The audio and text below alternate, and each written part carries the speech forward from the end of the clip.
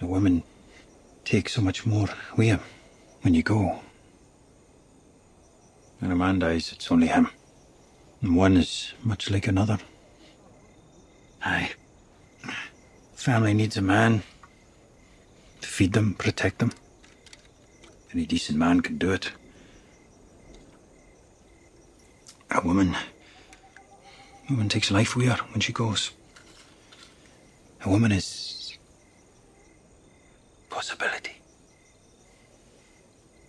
If you think one man is just like another, then I can't agree with you.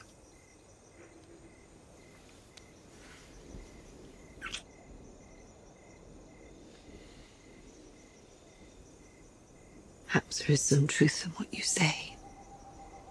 Maybe it's the ability create life that would make it that much harder to end it.